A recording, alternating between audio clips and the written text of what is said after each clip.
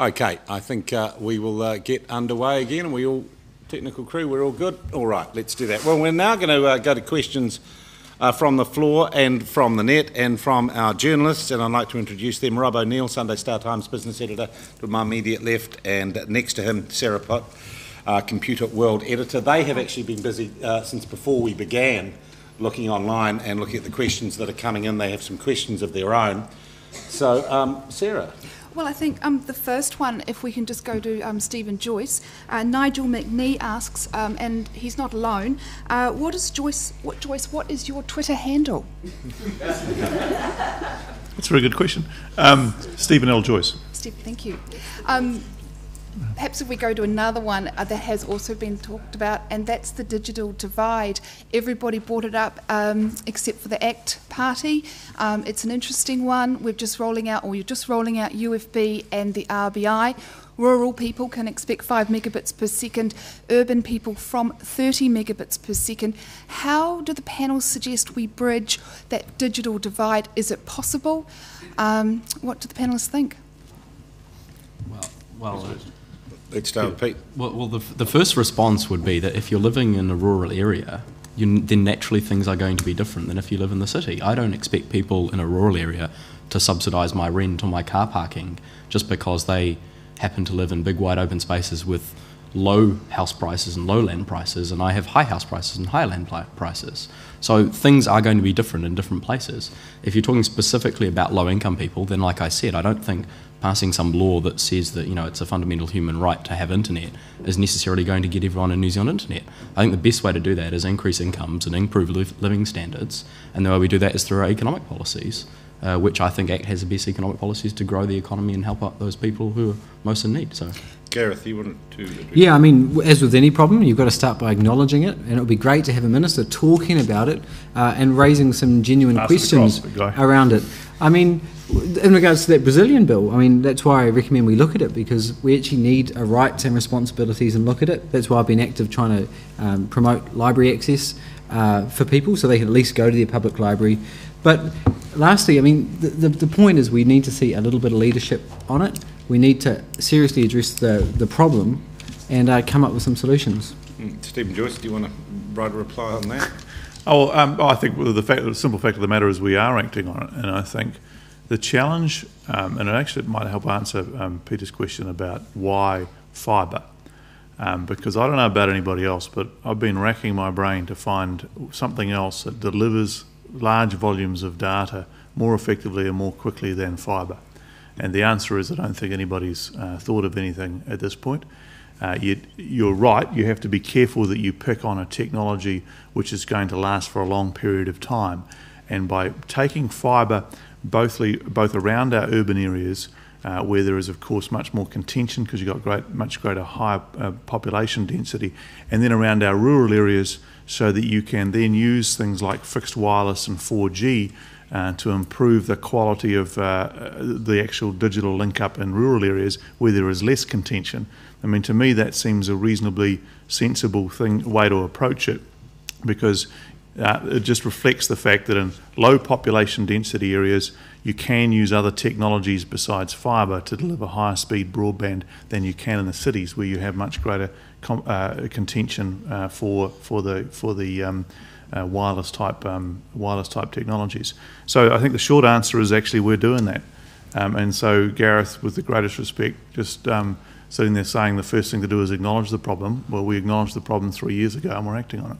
But like, right, um, hang on. Well, clear. I want to clear a shot here.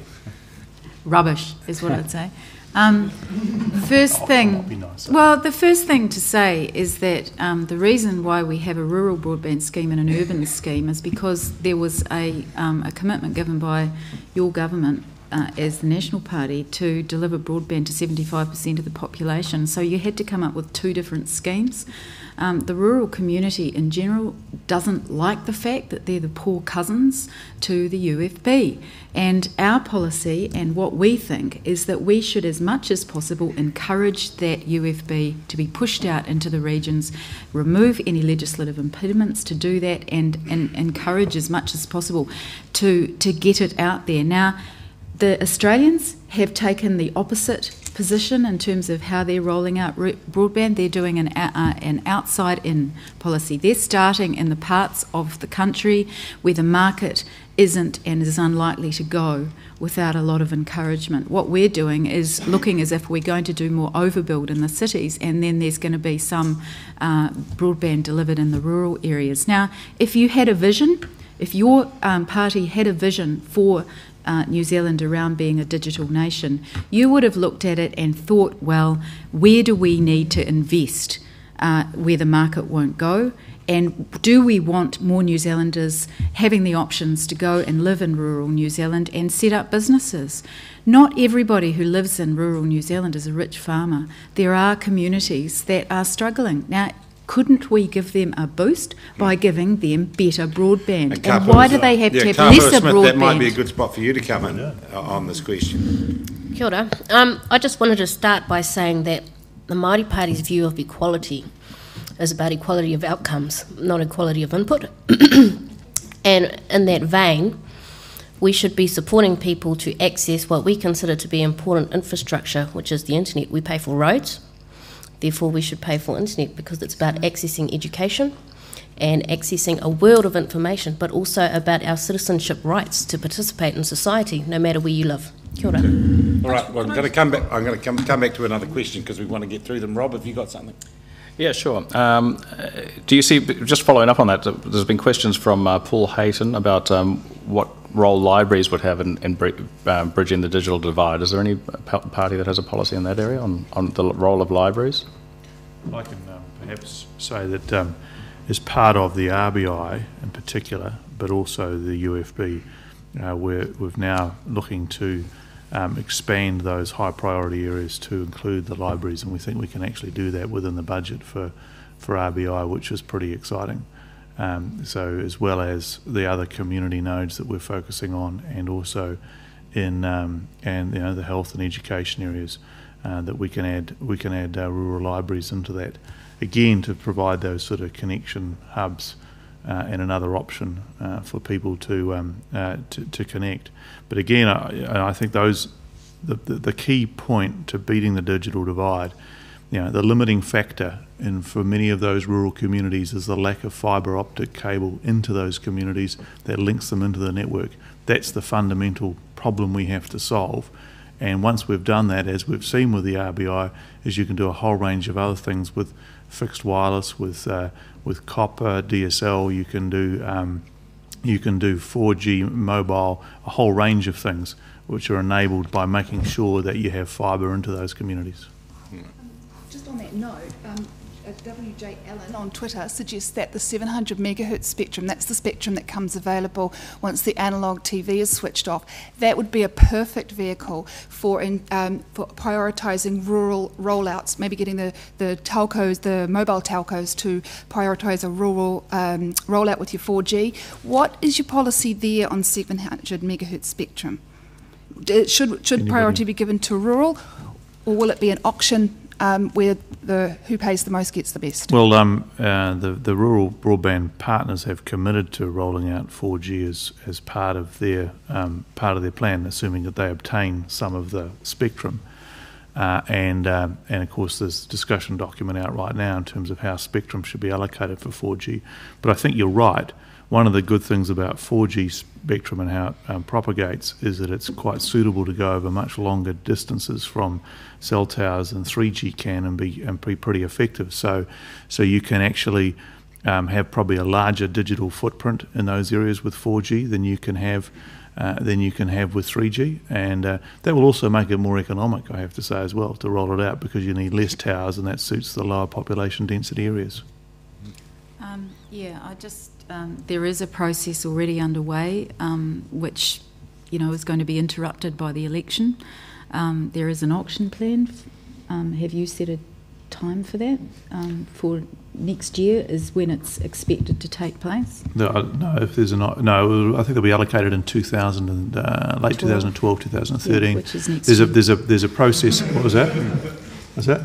Um, yeah, that's right. Um, it is supposed it's to very be generous of you to agree. Next next year. next, um, next year. And and it's it is it is really critical that area of spectrum, um, and I think we both agree on its importance going forward. Um, what and how um, and who it should go to is, you know, is another matter. One of the most important things is that it's done very transparently um, and that there is a public discussion around the digital um, around the digital dividend and around how that money gets spent and what it should be spent on.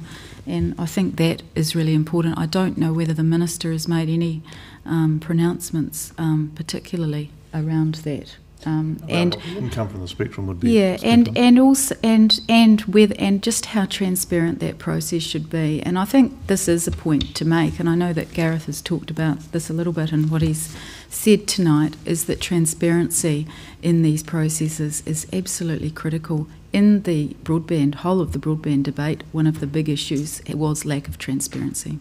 Um, I so don't think that's I correct at all. I know yeah, that's your view. Yeah, Gareth, I mean, I just want to agree with Clare. I think she makes some great points. Um, to go to that library question, to be fair, many of the functions of, I mean, libraries are a council responsibility.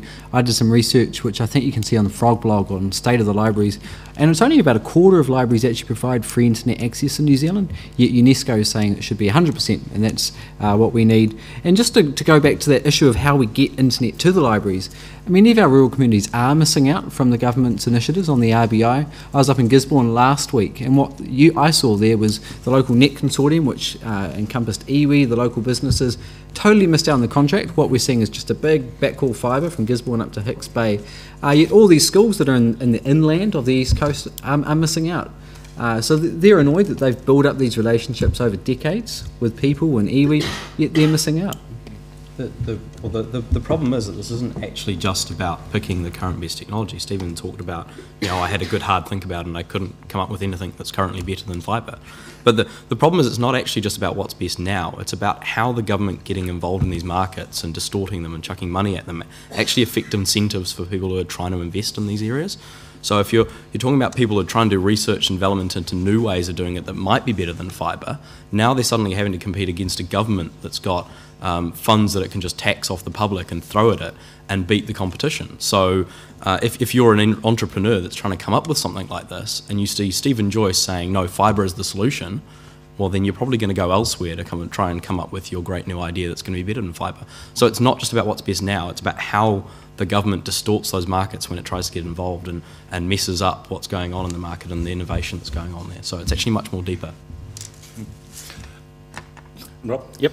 Um, question um, New Zealand is a hub of digital manufacturing and making. How does the panel plan to support and nurture that? Well, you guys should go first. I'm happy to do it. Okay, well, no, I'll dive in. Bugger um, the, um, I think it is a hub of digital manufacturing and uh, and digital um, and, and basically digital industries. And uh, I took an ICT uh, ICT um, trade mission to uh, China last year, and it was one of the most exciting things I've been able to do as a minister, which is going with 20 or 30 entrepreneurs uh, who are really just taking on the world. They travel and uh, have, you know, they bring their stuff in a suitcase and they go out there and they make the relationships and they and they and they do all the things that we would want them to do. And when you talk to them about what's important, and they will talk to you pretty much about connectivity uh, and making sure that, that New Zealand has those links to the world from a from a um, broadband perspective. They don't really want you to try and do it for them. They want uh, great trade relationships. They think that's important. Uh, they want to know that uh, that the government is very active in the trade area and is involved in uh, opening doors in, in, in, in countries where where where they have the opportunity to do that with things such as the uh, you know, Chinese uh, FTA and the, the other FTAs that we're looking to sign up at the moment. That's the sort of things that they're looking for. Uh, and uh, I think those are the things we've got to stay really focused on as a country because those are the sort of people we need to succeed. Well, what we see is New Zealand ranked quite lowly to many other comparative nations in terms of research and development spend. That's a simple no brainer, which I think some of us on this panel can agree. And another point is that we haven't had progress on the patents bill through Parliament, which I know many people would like to see some progress there. Um, can I just say that I agree with you, Stephen, um, around the uh, sort of external focus in our trade relationships. But what's missing is uh, is an is investment in skills. We're currently importing, I think it is 2,000 people um, a year from outside New Zealand because we're not growing them inside New, inside our own country. We are going to put specific commitments around um, investing in um, going from 200 interns in existing companies doing R&D product uh, projects to a thousand a year. And which the future is, digital, this document actually identifies a lack Yeah. of top end and skills. and going from schools into career paths. That's the big big bit that's missing. And I hear this in every conference, every forum I go to is is how do you get from education um, into career pathways and where are they? Now, this government has taken the, the view, and that we do have good organisations out there, NZICT, etc. You are doing a good job, but you, the government does need to play a role in, in helping bring together and, and create those and help create those pathways and make sure that they do exist. I've got two 11 year olds. They're both creative. Um, I want them to stay in New Zealand. I don't want them to take their, their you know to go overseas because they, they can get better jobs uh, and because they can earn more money. I think they will end up in this sector. I want them to stay there. So I've got a vested interest.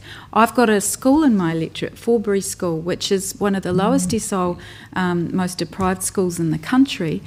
And there are kids that are creative at, that, at those schools. How are they going to get? How is their potential going to be recognised? And? Kapua, clearly through the, yeah, Kapua, through the policy you've announced this evening, this is a, a big part of uh, the Māori Party's view or hopes for Yes. the digital future. We would agree with Clare that one of our focuses would be on establishing a workforce, and one of the programs that we have already um, committed to is supporting the RBI and the UFB rollout through Ngā Pū Waea. Um, and in their terms of reference, um, one of their roles is to look for opportunities for Māori training and apprenticeships, as well as opportunities for participation in the wider industry. Um, yeah. Peter McCaffrey, would you say just pay people more if they want to be, if you want people Well, in IT? well, Let no. market it- decide? We, we need to improve New Zealand's economy if we want people to stay in New Zealand, and that's an entirely different debate that we can have another day. But um, look, if you if you want people to be here in New Zealand innovating, then you have to actually provide uh, the circumstances to allow them to do so, whether it's regulatory environment or rules or red tape or anything like that. Um, having said that, we do still uh, have good companies that are doing that. People, uh, people like Xero here in Wellington, who have actually gone international now and are actually um, uh, bringing a lot of money back to New Zealand and helping us out here. So it is possible, but I'd like to make it easier and get the government out of the way and let people do that. Sean, can I just touch on the whole vocational pathway thing? Because it's something that I want to agree with Clare on, and uh, don't get that opportunity every day. Um, and um, what's what's really um, good about that is that actually that's something that we've got underway. This whole idea of vocational pathways from school into into particularly um, industrial type training and tech technology training and ICT training. And one of the challenges is that there's a very straightforward academic pathway in New Zealand schools into universities. But when you want to talk about ITPs and um, and uh, that sort of training, uh, it's less it's less obvious. So we've been working with the Industry Training Federation and set up these five vocational pathways, uh, which includes um, the ICT stream, and that will actually simplify things for young people that are at, say, perhaps NCEA level two, what sort of uh, subjects they should be taking as they want to head down that pathway without making them decide whether they want to be a particular type of tech, technological person or, for example, in the building and construction trade, making them decide at 16 whether they want to be a plumber or whatever, making them, uh, just getting them into a stream which says you're going to learn these sort of, these sorts of trades if you're in the construction sector and you're in the ICT sector, and I think that's actually going to be, work out very well. Okay. That, that question was from Northwoods DS. I just didn't credit that. Um, Polar Bear Farm is asking, um, uh, he'd like to hear policy on ICT procurement in government as it relates to extreme wastage in government. How are you going to reduce wastage and reduce IT project failure in government? And, um, and how it could be used to uh, help build local I- ICT companies. Well, um, Labour announced a procurement policy a couple of months ago, which was um, targeted at uh, our more traditional manufacturing industries as well as our uh, new technology um, industries and and how government spends its money uh, in making sure that we are investing as much as possible inside our own economy. So that is absolutely critical part of our policy, and we want uh, to use uh, government spend as much as possible to uh, ensure that we're investing in local innovative companies, and which is why we've got a whole section in here around open source. We have a growing community of innovators in this country who are developing new software, uh, new that's where government can take a lead by looking at how it can invest um, in, a, in a fair way um, in in using those um, the technologies that they're developing and cost savings um, accrue. Um, I'm sure Gareth will want to say some stuff about sustainability and environmental um, policies, and I certainly think that within Internet New Zealand's roadmap that they've released today, there are some really good ideas that we can build on. Well, I think in terms of open source, which I was going to agree with Clare, and uh, I just want to acknowledge Nandor Tanczos's work. So we've got quite a substantial open source policy, and in fact, a constituency office running entirely on open source software. And you know, I've seen some big failures when it comes to open source, and I've seen some big successes.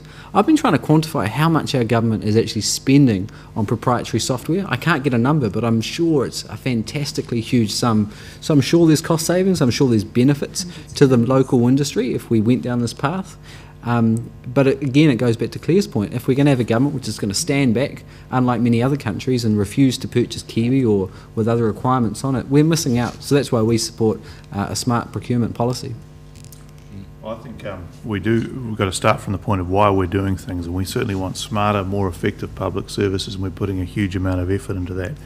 Um, there is a massive ICT spend across government by New Zealand standards, uh, and there's a massive number of projects. Frankly, frankly, there's a massive amount of catch up to be done. So if you talk about whether it's the immigration software, the customs software, driver licensing software, it's been left uh, undone for years and years and years, and we actually have this huge bow wave now of investment in ICT projects to try and get government online. That's one of the interesting things about lecturing the community how to get online. Actually, government doesn't do a lot of that very well. And so we've done a number of things in that respect, and one of them is to make sure that we have a cluster of ministers who can monitor these projects as ministers, and then a bunch of people uh, alongside them who can peer review all those projects and drive them through uh, and, and make sure that they're successful. But you know, the challenge with the greatest respect is not whether you use Google Docs or Microsoft Word. The challenge is actually the proprietary stuff around um, the interactive database uh, stuff that, that it is you know generally those bigger players uh, which you actually have to get under control and make sure you don't end up with that famous 20 year old word INCIS um, running around loose in this process. So it is pretty challenging, something that governments don't I think historically do that well, and that's why we've got such a massive. I've mentioned some, but there's MSD, there's IRD. I mean, all of these ones are dealing with antiquated platforms. Actually, MSD um, has upgraded themselves, but IRD is a massive issue because of how old their stuff is. How are they meant to do that when you're, you're talking about the public service? Who, who are the public servants? Well, no, they're making the actually they're, they're making the capital investment in that stuff to, to precisely make it more efficient. Um, and one of the issues that we've got is that, you know, for example, making changes to the IRD databases is incredibly hard. We've been doing some work in student loans in that area of making sure that actually people pay off their student loans. You've got to do a massive amount of workarounds to actually achieve those outcomes. So you've got to just, you, you do have to make that investment so that you can have more efficient public services. And that's a balancing act because, as you know, things are fiscally tight. Um, we'll take one more from here and then we'll go to the floor just a quick uh, turnaround. We talk a lot about um, how do we stimulate demand? How do we get people to take up the services? Not everybody is excited about fibre coming to their house, but unless they take it up, the investment won't be um, given back to those uh, to the companies, the service companies that are providing it. What, uh, Peter GNZ asks. Um, uh, Stephen Joyce, what are you doing to encourage services like Hulu, iPlayer, Netflix to set up in New Zealand? What's the hold up? Double question mark. Very good. Uh, well, actually, um, we're focusing on a number of areas. We've got this um, uh, five point action plan which we've been developing on the demand side. The most important thing, though, that you can do first of all is make your prices competitive. Um, if you can do that, then that will help things. So, we've determined that the price points for the UFB and the RBI uh, are very competitive to what's already in the marketplace, but give you the higher levels of service. And that way, you can ensure that the uh, commercial players uh, in the content space actually do want to, to be part of the market because they can see a commercial opportunity for the um, models like Netflix. Um, the real involvement from the government's point of view is to do the sort of things that we've been talking about in education, in health, any government to make sure that we get our services sorted out as well, because otherwise, you, know, you, really want people to be able to and to, and to have a, an easy relationship with government services online. And if we can't do that, then we're, you know, it's a bit hard work le- lecturing everybody else that that's something that they should do. So the fundamental question is making sure the price is competitive. And with the UFB, we've got wholesale prices which are competitive with the best copper prices now, but the services are way beyond that. Well, with all due respect to the minister, what we are talking about the RBI and the UFB is digging big holes and laying some fibre down. And No, it well, if seems are, like the government is stuck on this, and we aren't having a conversation about what we can actually do with it. And if there is this mythical five-point plan around, you know, uh, online legal content, I mean, why didn't we see it before the copyright debate was passed under urgency? So you've had time to read the Brazilian one, but not our one. Can I just say that it, the video um, component of the UFB is actually really, really important, and you know I hope you do acknowledge that. Um, and at the moment, you know, there's a big question mark over how that content is going to be delivered. We can't get Netflix in this country. That's a model. I don't know if you've actually had a chance to go and have a look it up, look it up to see what it is. But we can't get it. We don't have the ability to get those sorts of services in this country. Our concern, and I'm sure the concern of a lot of people out there, um, is will we end up with a monopoly in that content space of Sky? That has the rights to all the content, where you have to subscribe through their service to get it and, and pay their prices to get it, which is going to lock out a lot of people from having access. Can you give us a guarantee that won't happen, Stephen Joyce, if you Well, were the- to be the- re-elected? The Commerce Commission has the, you know, we don't need another regulator. The Commerce Commission has the ability to go in there now. And in fact, they are doing a demand side study on exactly the thing that Clare raises. Jurisdiction in that area. No, they do actually have jurisdiction in that area, and they're doing that study now. But the um, that's why it's called a study, Stephen. but the, the point is that you know these things do change over time, and the point I would make to you is that you know there were a lot of people being very concerned that we didn't have iTunes in this country, uh, which we of course now do have, and um, you know, I'm absolutely confident you get the price right, the model will evolve, and it actually does allow. At the moment, if somebody wants to distribute a movie to somebody's house in this country, then it's Hobson's choice. It's Sky. But as soon as you get the UFB rolled out, and let's face it, it's just it's it's underway now. As soon as you get that rolled out, then they'll have other methods of actually delivering the same thing. And if they want to go around Sky, they'll be able to. Right now, they can't. Peter, uh, Peter just wanted to. I, I, think that Sky will never have a monopoly on content in New Zealand because that's not how the internet works. And it just shows that, particularly Labour's policy that was released this week, is just going back to what I said in my introduction. It's, it's not keeping up with how the internet works, and, and these guys don't understand this. That the internet is international, and all that content is available already in New Zealand illegally, and somebody around the world is going to find out a way to uh, monetize that and access that internationally, and you're going to pay your $50 a month to some international company or, that might have servers based in New Zealand, or maybe someone in New Zealand will come up and do this as well, and you'll get all your movies and your TV and your music through that. It doesn't have to be Sky, and, and there's no reason to assume that it will be Sky. Why, why would it? The, um, uh, there have been- several uh, people tweeting about software patents. Um, they want to know some clarity around what the party's positions are on that. There is a new patent act that's been described on Twitter as languishing for two years. Um, people want to know why, and they want to know what each party's policy is on software patents. Okay, Peter, we'll do it from Peter all the way down. You got a Um, policy on that? I, I don't think ACT does have a uh, policy on uh, patents, but it's certainly something I'm concerned about. I Okay, think that the Gareth? Well, I mean, we've just got to acknowledge in New Zealand we're a net importer of this stuff, so um, it's disappointing that it's languished for so long. And I know Clare's been quite vocal about trying to stir the government on, but you know, there's um, surveillance legislation passed under urgency, there's copyright legislation passed under urgency. What we're not seeing is action on. So you'd make your policy is to make it a priority? Yep. Okay, Clare. Well, I have a section in my policy on Yep. it. I sat on the select committee. I heard the submissions. We came up with a, an agreed position with which the government adopted that um, software patents, um, that software could not be patentable, that it would be covered by copyright. That is the is where the legislation is, and it's still sitting on the books. And I ask why, and is it to do with the Trans-Pacific Partnership? All right. Well, uh, Stephen Joyce, we'll, we'll, we'll just we'll go, come back to Kapua in a second. Um, I think you're seeing a conspiracy theory there, Clare. Not that that's ever happened before, but um, no, look, it's we're committed. It's just time. It's just time in the house. That's the issue. If you keep it secret, you're going to get conspiracy It's, theories. it's So why don't you release it? one of the it? main issues that's been um, Yeah. is being put out there is intellectual property, and the patents bill is being is is being told to us by people giving briefings on the TPPA that that is one of the issues still on the table. There was a WikiLeaks uh, Yeah. article that actually explicitly said Yeah. that uh, some of the stuff was Ron. being held Steven back. Joyce, My, my understanding is that we've accepted the recommendation. It's literally time in the house. All right. Uh, Kapua, on, Māori Party doesn't currently have a software patents policy. all right. Thank you very much indeed. I'd like to open it up to the floor now. Do we have any questions uh, from the floor? Now, we've got the roving mics there, so just wait till the microphone comes up. Yeah, so we're talking about software patents, so so I'll just kind of touch on um, current things that have come up in the last couple of weeks. So Apple, as you may know, has started the, the, the thermonuclear war of, of patents and IP property that we've been talking about was going to happen in the software industry for the last 20 years. And it's opened up in the last Yeah. sort of two Okay, hang on. We just want to get that microphone on. Is it switched on? Is it? Is there a switch there? It's on the bottom, Joel. Okay, on the bottom. Just look on the bottom. Okay, well, okay, it's on now. Just give us a wee test if you could. No, we're still dead. Could we get the other microphone across there? We'll get that one back to you. Okay.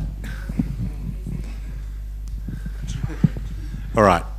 Away you go. That's, that's loud and clear. Okay, so as you may be aware, um, the last three months there's been sort of the geothermonuclear war of uh, software patents that the industry has been discussing for the last 20 years or so, which is Apple essentially moving to block um, Samsung in uh, both uh, Australia, our, our neighbours, and in the EU.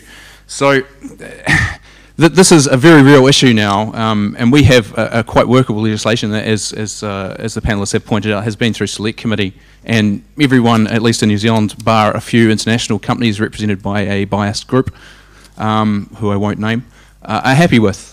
So why is it sitting on the table for two years? And I'll put the question again: Why don't you do that as one of your last acts of Parliament, been in term for four years? I spent four years of my life on that bloody as part of my master's thesis. Everyone's happy with it. Why has it not been passed? You, you passed a copyright legislation that had hadn't been um, discussed and agreed onto. Too late now, I suspect, to reconvene the House. Um, although we we maybe get together and talk to the leaders of the house. Um, no, we, we we literally can't do it now before the election. But um, um, I just point out, you know, the whole the house runs on, on a whole range of timetables. It's the intersection of you know forty odd portfolios in terms of what happens when. Uh, and uh, sorry that that one just didn't get time to get through the house. All right. I've got a few that I want to get through as well, and I can't get them through. Okay, uh, this gentleman over here, if we could have the microphone back that way. Have we got that other one operating yet?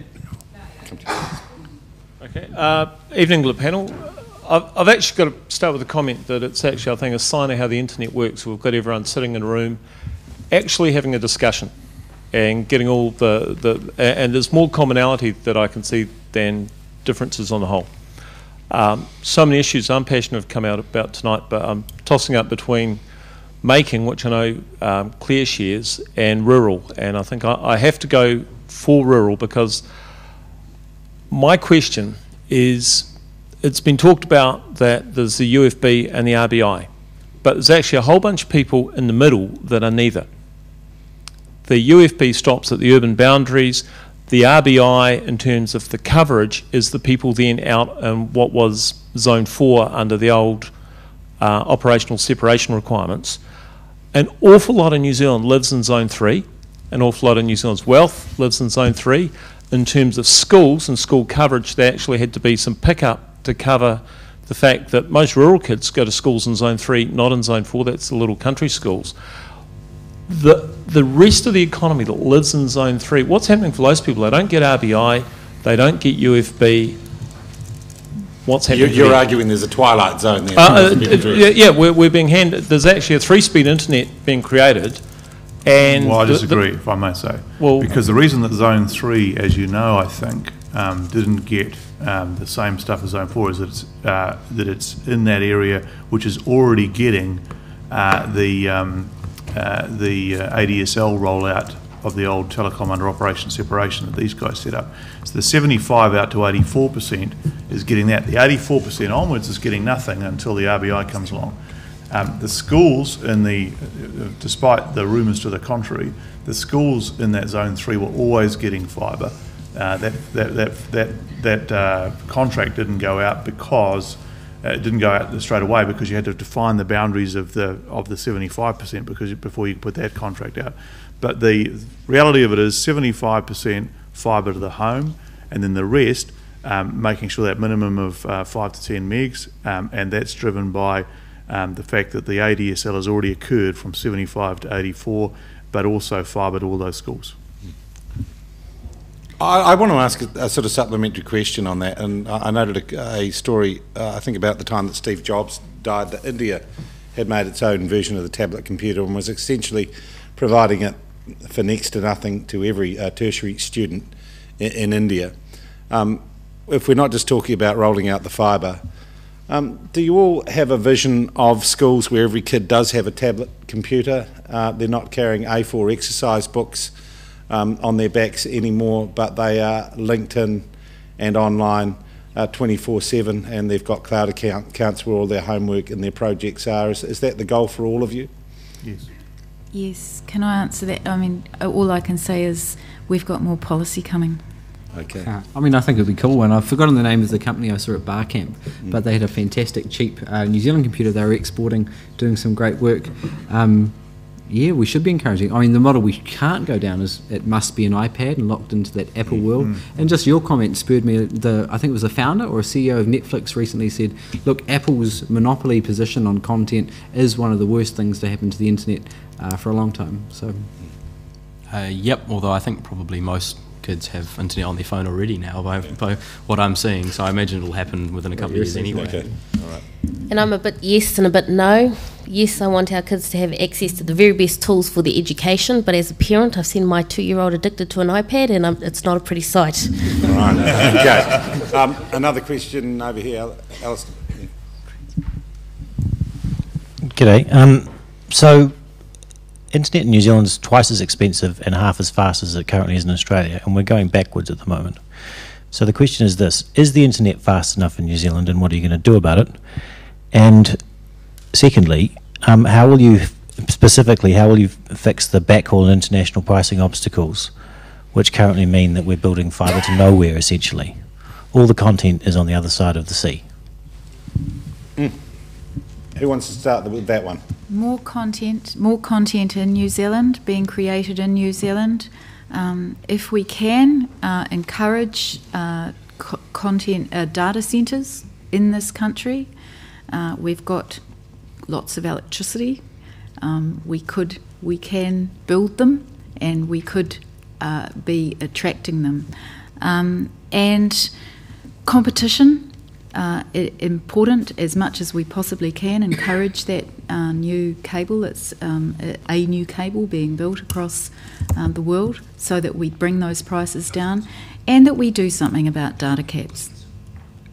Data caps are one of the um, big issues um, that is going to uh, constrain people's ability to use the um, the technology and uh, and at the moment, you know, what, what I, I'm interested to know what Mr. Joyce's policy is on that. And in terms of speed, I know it's called ultra fast broadband, but it's not really.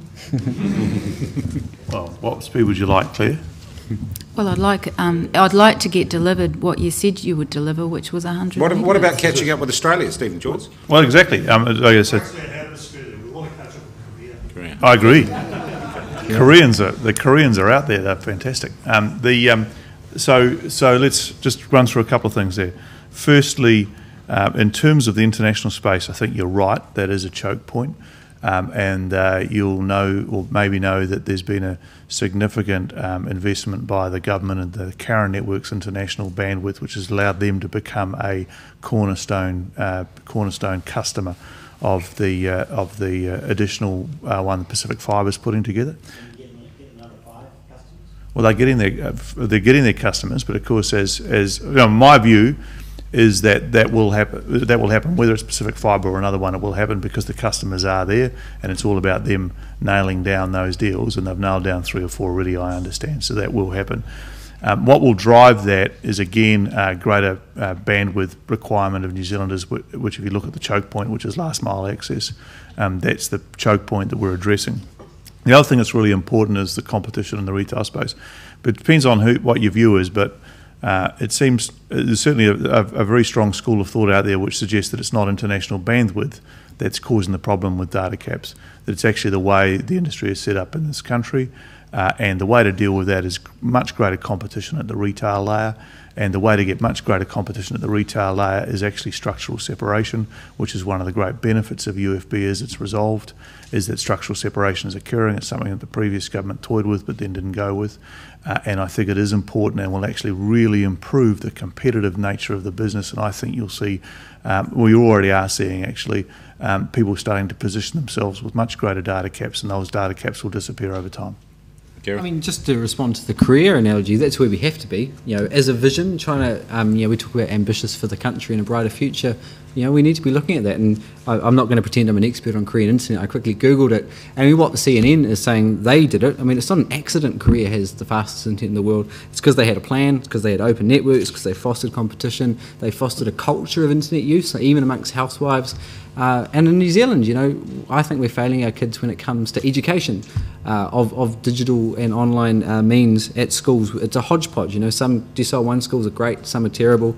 Uh, obviously, I agree with the others, and I finally get to say a green uh, sustainability point. You know, on the data centre thing, this is an opportunity for New Zealand. We've got you know more than two thirds renewable electricity at the moment.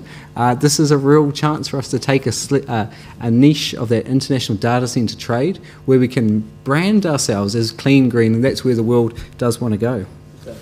Uh, another question here. Thanks. Uh, this is to Mr. Joyce. Um, obviously, you can't physically connect all schools to ultrafast broadband at the same time, all at once. So, what specific steps are you taking to ensure that it isn't always the lower decile schools, the decile 1 and 2 schools, of the kids who don't have internet at home? What specific steps are you taking to ensure it's them that aren't always going to be last in terms of connecting to the ultrafast? Uh, well, the, the um, there's a the, the, there's a whole range of schools different deciles being connected right now. So one of the early ones, for example, will be one of the ones that's often talked about because the principal is so passionate about it, which is Point England um, in, in, Auckland. Um, it's literally a case of it's just how the way the rollout's going to be done is just how practical it is to do it as quickly as you can. Everybody wants it tomorrow. That's the reality of it, um, and uh, which is quite exciting because all the schools are keen as um, to get it. Uh, and the answer is just as quickly as you can put it together. Um, but but there are some areas of the country that are easier to do than others, and you want to get as many schools hooked up as you can, so different densities are done at different times. But it's not desired on particular deciles or anything else. It's just um, how do you build this whole thing out in four years? Okay. Um, we'll take uh, another one from the audience at the back here.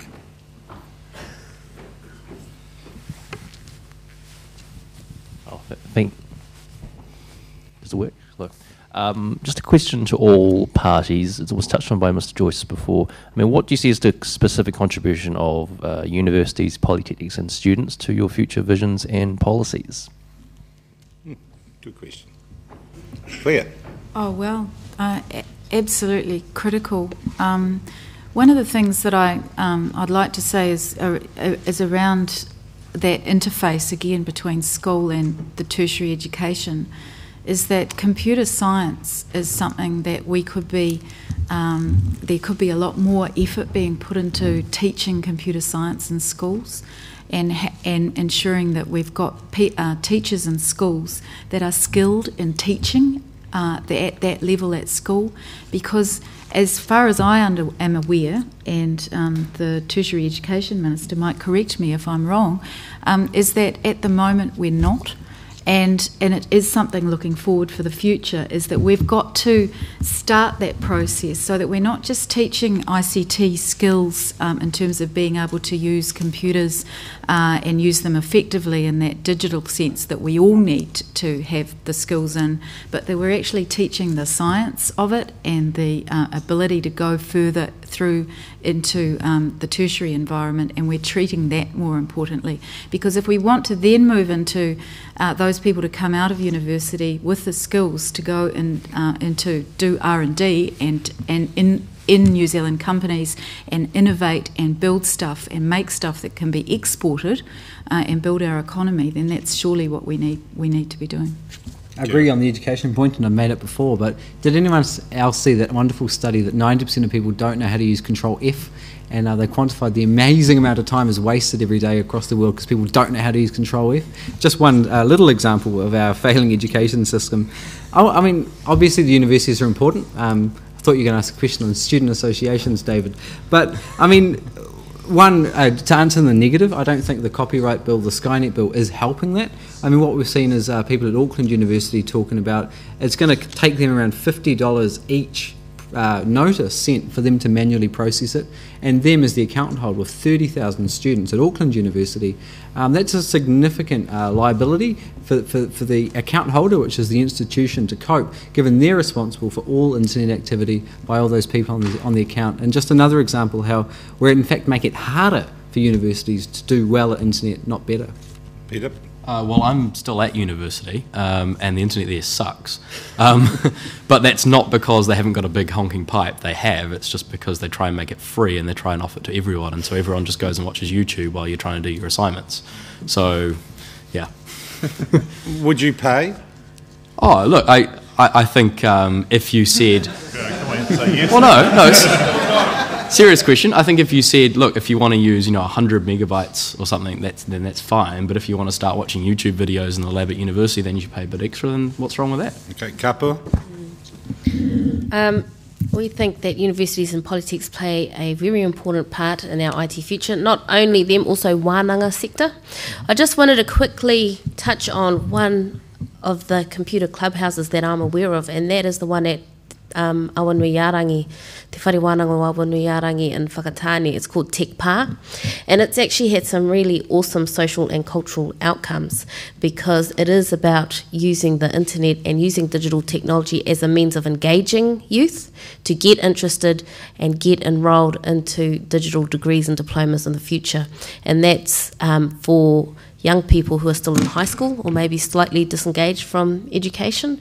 So I think that, yes, they're very important, but we could also expand our horizons a little bit more, and we should be measuring effectiveness and effective support to students by not only looking at their skill set, but also looking at the social, cultural, and economic outcomes that can come as well. Steven Joyce. Well, firstly, I'm trying to find Control F on my iPhone, um, and I've got a problem with that. But um, look, um, the um, Look, I think I think that the reality is, if you're talking about a digital economy, then digital economy and education go hand in hand, and they actually feed off each other. I think the, the potential for everybody to be better educated um, uh, with the power of what we're dealing with here is actually obvious, and you can see it happening now. Uh, and that applies at universities and polytechnics as much as it applies across the school sector. People get particularly excited about the school sector and uh, because it's a, it's a sector that's been underdone in the IT space. We've got um, too many kids that are going down to a computer lab once a week, whereas out in the real world they'd be using one every hour of every day uh, and uh, and well, not every hour, but um, but certainly being much more involved with it. So we tend to get more focus on that. But actually, the link between the two, between education uh, and the digital economy, uh, is massive. It actually extends the reach of every student, whether they're at school, university, polytech, or whatever. Allows them more opportunities to see more things and to explore more things than they ever were able to do when I went to university. And I think that's fantastic. All right, and on that, well, positive note, um, it's almost time to end. Now, I've been asked to wrap up, and I actually think in a digital age, asking a moderator to wrap up a discussion is ridiculous because I know the discussion and the points we have raised and talked about this evening are going to spin off in a hundred different forums in a hundred different places, and the discussion will not end here. It will continue, as will, alas, the election campaign. Um, I wish you all luck on that. I thank you all very much indeed uh, for joining us uh, this evening. Uh, Peter McCaffrey, Gareth Hughes, Clare Curran, uh, Kapua Smith, and uh, Steven Joyce. Uh, thanks also to Sarah Putt and Rob O'Neill for helping us out. Thanks to Vikram Kumar and also for the technical team for keeping us online and getting the microphones working. thank you all very much in the audience and in the online audience. Have a great evening.